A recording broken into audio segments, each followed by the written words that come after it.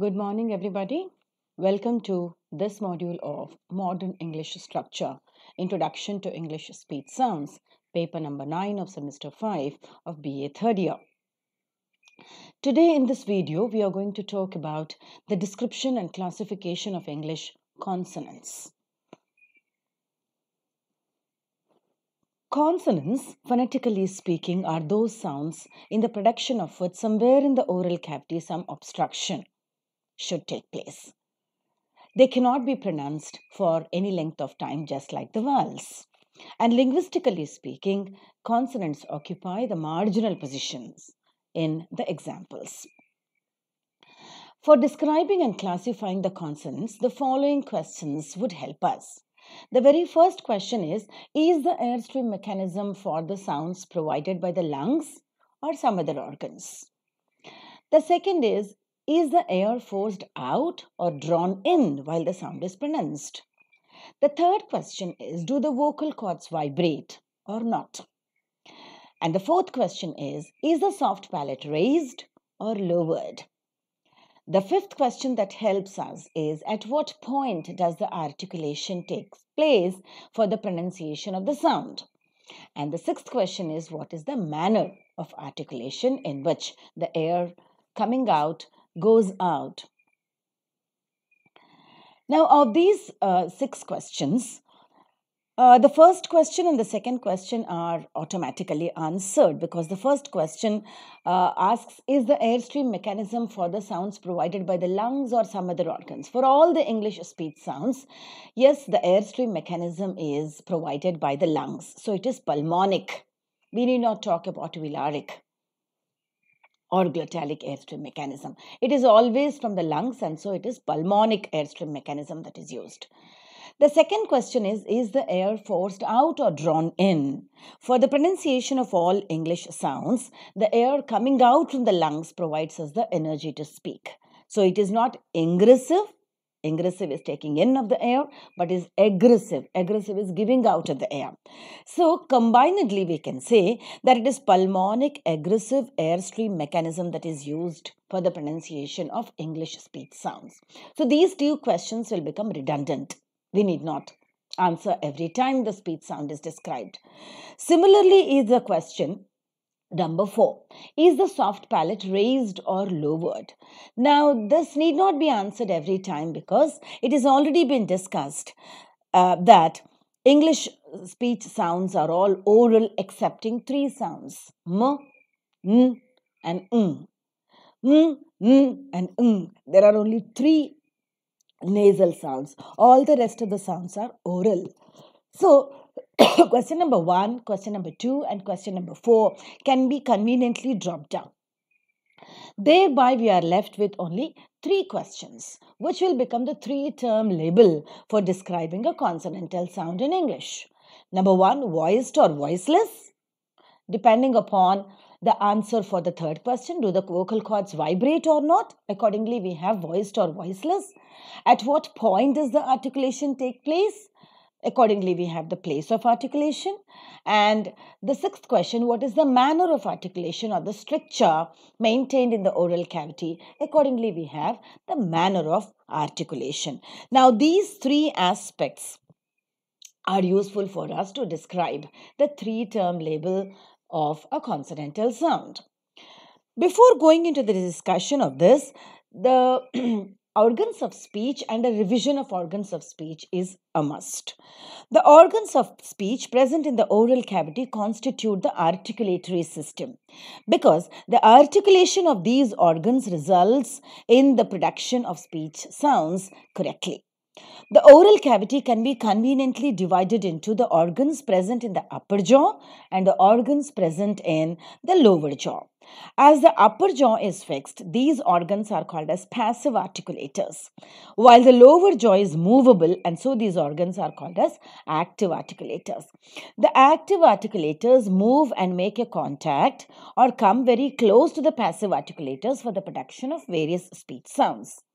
Accordingly, in the passive articulators, we have the upper lip, the upper teeth, teeth ridge, the hard palate, and the soft palate. The exceptions in the organs of the upper jaw that can be moved are the upper lip that can move to a little extent and also the soft palate which can move. But still, all these organs belonging to the upper jaw are considered as passive articulators because the upper jaw as such doesn't move. While the organs that are belonging to the lower jaw, like the lower lip, the lower teeth, and the dance master, the tongue with all its parts, the tip, the rims of the tongue, the front part of the tongue, the blade of the tongue, the central part of the tongue, and the back part of the tongue are called as active articulators. Normally, the active articulator uh, articulators articulate with the low passive articulators in order to produce the speech sounds. Apart from this, what is more important is the vocal cords as well, which will determine whether the sound is voiced or voiceless. Now, the organs of the vocal cords become the phonatory system that we discussed under the speech mechanism and organs of speech. If you just recollect, the lungs are filled with the fine capillaries inside, which are called as bronchioles, which unite to form the bronchus from each lung, together called as bronchi. The two bronchi unite to form the windpipe or the thorax that you could see in this diagram which is protected by the semicircular bones that can be felt by fingers when moved over the throat. The top of the thorax is larynx that you can see in the diagram. And this larynx is a box like structure with a pair of vocal cords, which are two fold ligament and elastic issue. The vocal cords also are shown in the diagram near the throat. The vocal cords are attached in the anterior and free in the posterior so that their movement causes an opening, which is what is called as glottis. And this glottis is used for the passage of air file for breathing. The glottis is closed by a lip-like structure on top which is called as epiglottis. The epiglottis also is shown in the diagram. The epiglottis closes the glottis so that the food particles and the water droplets would not enter into the respiratory system and thereby it is protected. And when we look into this first uh, question of whether the uh, vocal cords vibrate or not, accordingly producing the voiced or voiceless sounds, as discussed earlier, we can have a number of positions assumed by the vocal cords because they are free at the back and attached in the front. Of the various positions that the glottis can assume, the following four positions that you could see in the picture are important. Number one in the picture is completely open glottis, whereupon the two vocal cords, which are little wider, are wide apart. Thereby, the gap that is present between these vocal cords, which is called as glottis, is quite wide. This is what is the position that we observe when we are not talking, not eating, and merely breathing, so that the air can pass through the vocal cords, through the glottis rather, very freely without having any friction. All right. Now, the second position that can be possible is, as you could see in the lower diagram, the vocal cords, the glottis is in vibration and the vocal cords are very closer to each other so that the voiced sounds are produced. As the air has to pass through the narrower glottis because the vocal cords are a little closer to each other, Obviously, they have to put the vocal cords into vibration when the air is passing through, thereby producing the voiced sounds.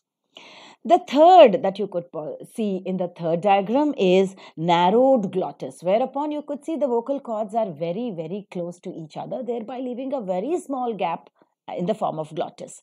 This is what exactly we observed when we whisper and try to talk in a very softer way. And the fourth position that can be plausible is glottis is completely closed. The two vocal cords come very close to each other, thereby closing the glottis. This is the position when we are eating, drinking, or we are producing the glottalic sounds. So these four positions are to be borne in mind. Of these four, the first, and I mean the, the diagram that you could see in the middle, whereupon the vocal cords are wide apart and the vocal cords are closer. These two are very important when you are producing the speech. because the first diagram shows that you're not talking and you're just breathing. And the last diagram shows, the fourth diagram shows that it is completely closed and this is the position when you're eating or drinking. What is more important when the speech sounds are produced is the middle diagram which I have given in the pair where the vocal cords are slightly separated so that the air can pass through the glottis very freely, thereby producing the voiceless sounds. And in the second, you could find that the glottis is much narrower because the vocal cords are coming closer to each other, thereby leaving a very small gap in the form of glottis and thereby forming the voiced sounds because the air has to pass through the vocal cords and the glottis by putting the vocal cords into vibration. Thereby, the very first criteria of describing a consonant is whether the sound is voiced or voiceless. By voiced, we mean that the vocal cords vibrate, and by voiceless, we mean that the vocal cords do not vibrate. The second that could be possible is the articulatory system. And the articulatory system is the place of articulation. The second of the three terms of a consonant sound depends upon the place of articulation. The organs situated in the lower jaw move from their position to articulate with the organs that are situated in the upper jaw. The organs that move from the original place to articulate are called as active articulators, while that which do not move are called as passive articulators. The place of articulation is named after the passive uh, articulator. This is done because all the sounds excepting bilabials articulated with the help of two lips and the labiodentals articulated with the help of lower teeth and upper teeth are articulated with the tongue which is the active articulator. Accordingly, we have different types of places of articulation. Let's look into each. Number one is called as bilabial. As the name suggests, labial is lips and bilabial is both the lips are involved in the production of the sound.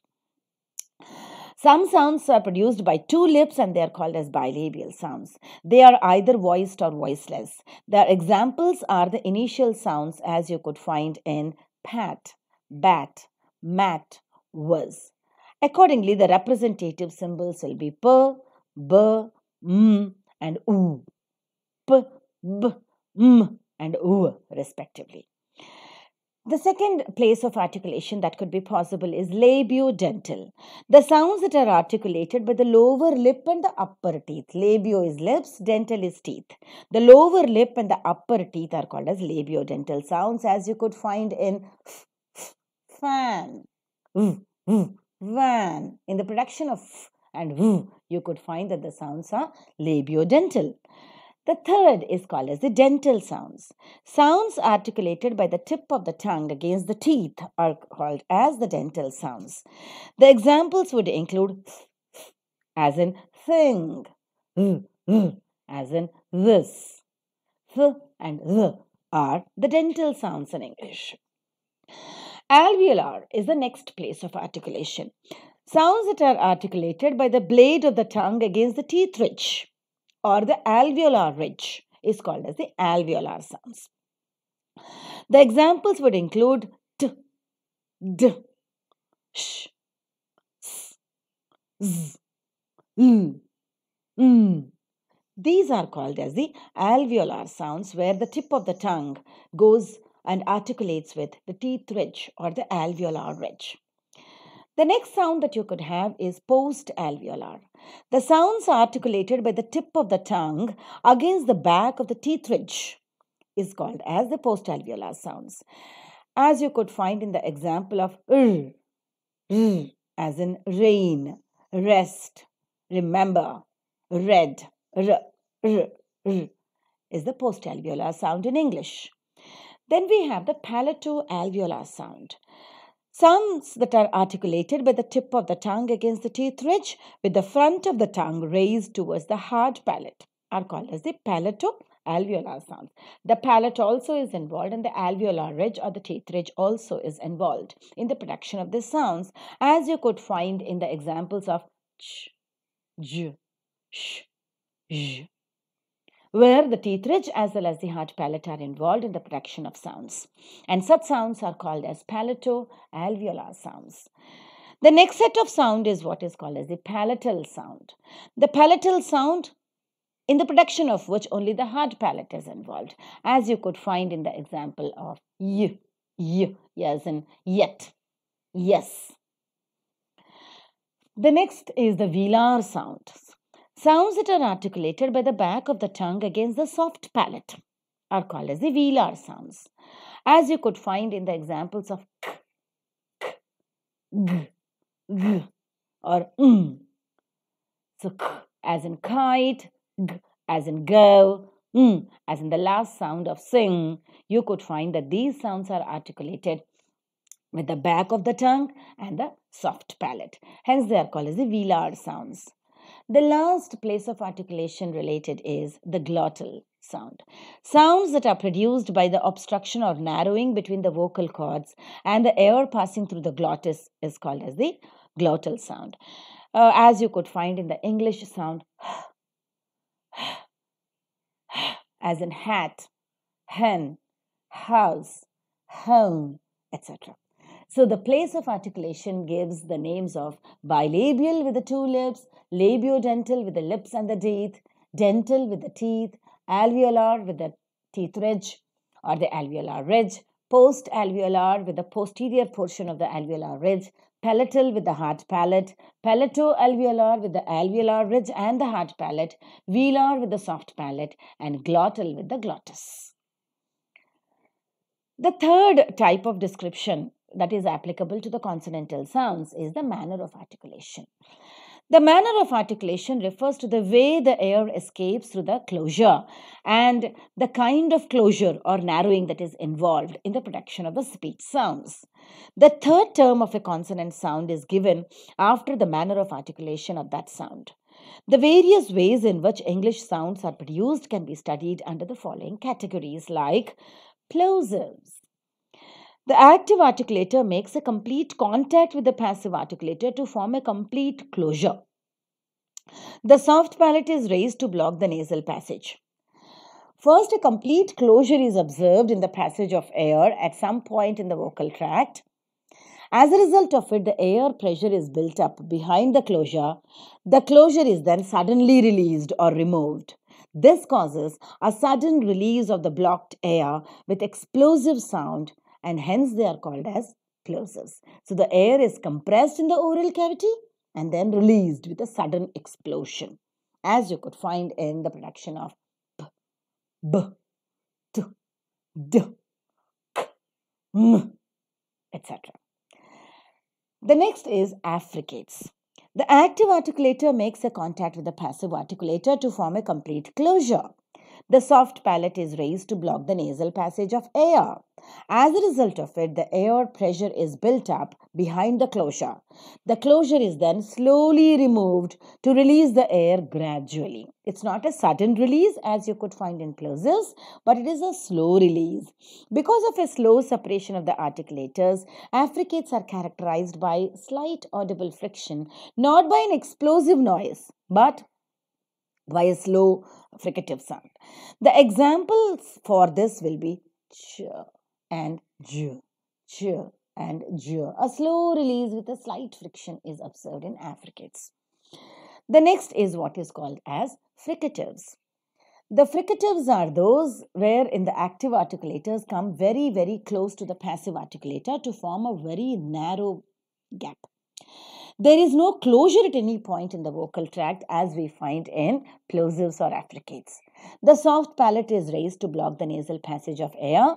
When the sounds the air passes through the narrow gap between the articulators, it causes audible friction and hence they are called as fricatives. Fricatives are continuously accompanied by the audible friction. The examples could be where you could observe a slight audible friction in the pronunciation of all these sounds. There are nine fricatives in English. The next manner of articulation is nasals. Nasal, the active articulator makes a contact with the passive articulator to form a complete closure of the oral passage, as in plosives and affricates. But the nasal passage remains open due to the lowering of the soft palate or velum so that the air coming from the lungs can pass through the nose and not to the mouth. Because the air is passing through the nose, they are called as nasals, as we find in the sounds of mmm, mmm, mmm. The air is passing through the nose. English has got three nasal sounds. Post-alveolar frictionless continuant is the next type of manner that could be possible. The active articulator comes very close to the passive articulator to form a narrow or a lesser degree. That is, the articulation do not come so close to each other, unlike in the case of fricatives. There is no closure at any point in the vocal tract. The soft palate is raised to block the nasal passage. Hence, the air is released without audible friction such as the sound of r, r, r, r, as in red, road, rail, rest, and so on. English has got one frictionless continuant. The next manner of articulation that could be possible is lateral. The active articulator comes in contact with the passive articulator to form a partial closure. The soft palate is raised to block the nasal passage the air stream can escape from the sides or the rims of the tongue. So the rims of the tongue are lowered by maintaining a contact with the passive articulator and the air coming from the lungs will not pass through the middle but through the lateral or the sides. And hence the sound is called as lateral. English has got one lateral sound as you could see in l, l, as in little, the initial as well as word final. L.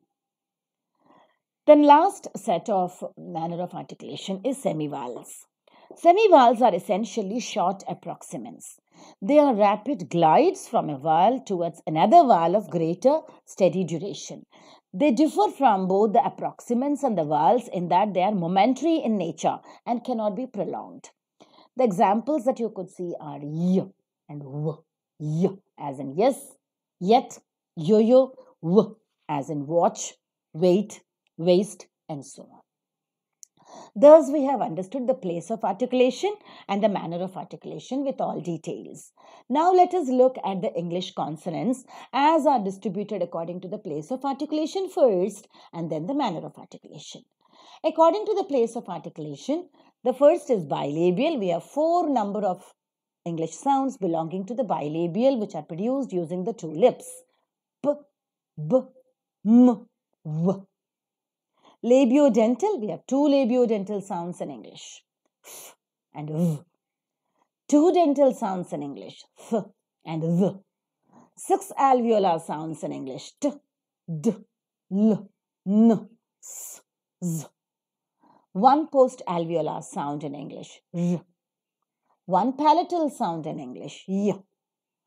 One post alveolar sound, uh, palato alveolar sounds are four in number in English. Ch, j, sh, j. Three velar sounds in English. K, g, ng. And one glottal sound in English. H, thus making the English consonants to be 24 in number according to the place of articulation. Let us look at the distribution and the classification of English consonants according to the manner of articulation. There are six plosives in English. P, b, t, d, k, g two affricates in English, ch and j. Nine fricatives in English, f, v, th, v, s, z, sh, j, and h. Three nasal sounds in English, m, n, and ng. One lateral sound in English, l. One frictionless continuant, r. And two semivowels in English, y and v thereby making the total number 24 for according to the manner of articulation. So in this video, we have learned as to how to classify and describe a consonantal sound. We especially concentrated on English phonology and have given a sort of description in terms of three terms the place of articulation, the manner of articulation, and whether the sound is voiced or voiceless for almost the English consonantal sounds, which are 24 in number. Hope you have understood this video. Watch this video again and again for a clarification. Post your doubts or queries in the Google Classroom or in the WhatsApp group. Enjoy learning phonology of English with us. Bye for now and stay tuned for the next videos.